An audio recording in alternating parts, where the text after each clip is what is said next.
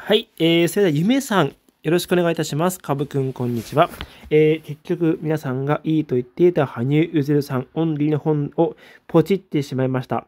が、フィギュアスケートマガジンだけ楽天ブックスで再入荷待ちです。うん。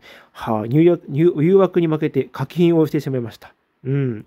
はい。ということですね。あのね、まあ、結構やっぱりね、あの、誘惑に負けちゃう。うん。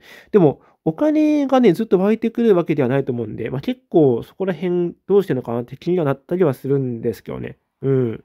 なかなかね、あの、誘惑に勝つとか負けるとか関係なしにも、あの、お金の関係でなかなか難しい人もいると思うんで、うん。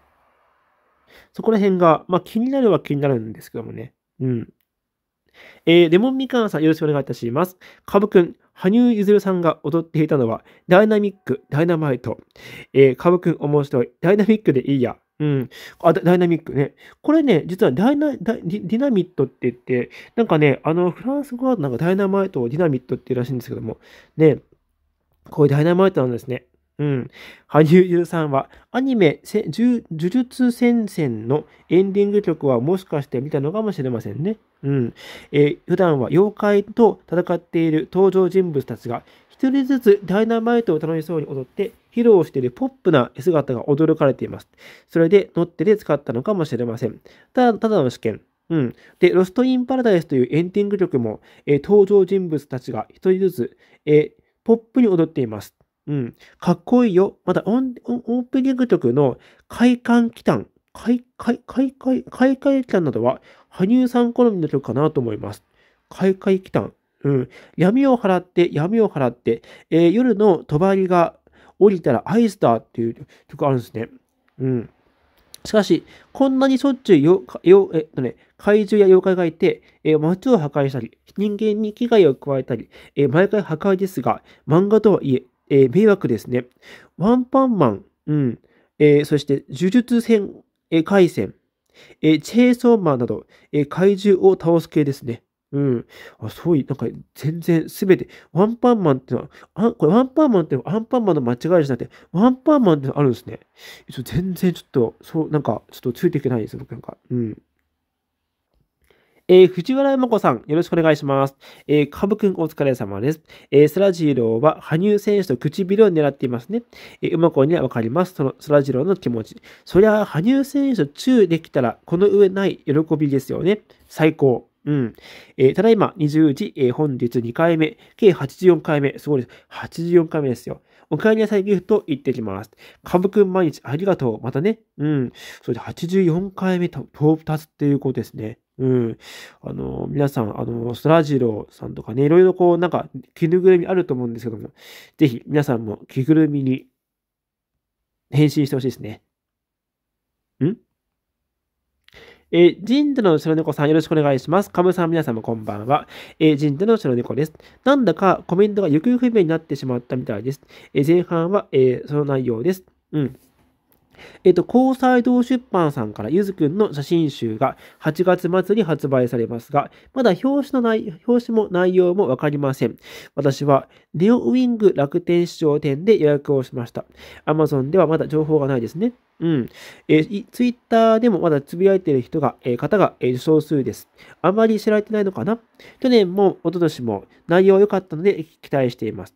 えー、昨日、ニュースエブリーの裏側の新たな動画を見ました。スラジローとイチャイチャ可愛かった。で、スラジローに何度も可愛いというゆずくん。そんなあなたの方が可愛い。うん。変わって言ってたよ。あ、変わって言ったよ。変わって思わず漏れた声みたいな感じで。うん。で、スラジローの毛並みをとえるゆずくん。えー、なでなで、歯茎、キッシング、スラジロー。えー、ゆずくんの方から行きましたよ。うん。キスリアク再びと。うん。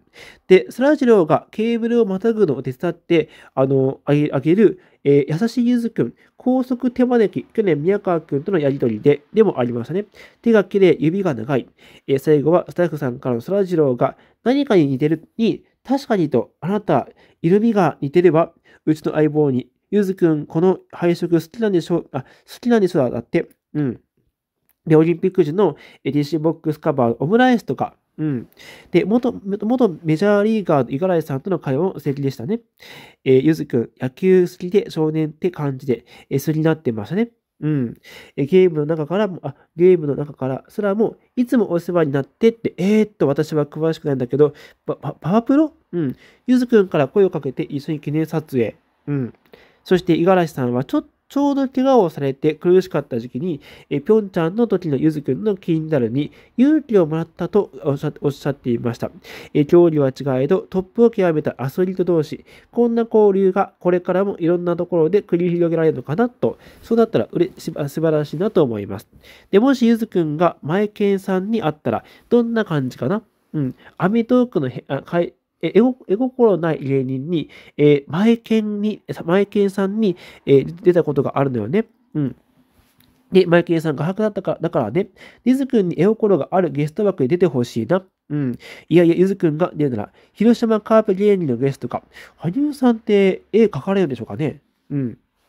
えそうだ、そろそろ実現をさせさえさせるべきでしょう。えー、羽生結弦大好き芸人の、え、特別ゲスト、集まると思うよ。うん。サバンナの高橋さんとか、ロサンヌの宇治原さん、私の一人の推しとかさ、えー、ピン芸人の織田信成さんとかさ、うん。はい、ということなんですね。うん。という感じです。羽生さんの絵,、ね、絵とか、なんかか一番うまい芸能人とかいるんでしょうかね。うん。羽生くんは絵を描いたら結構どんな感じでしょうかね。うん。はい。という感じでした。えー、桜子さんよろしくお願いいたします。えっと、カブくんは BTS はあまり知らないかな僕、あの、羽生選手の、えー、まあ、今回その BTS、ダイナ、ダイナ、えっと、ダイナマイト、うん。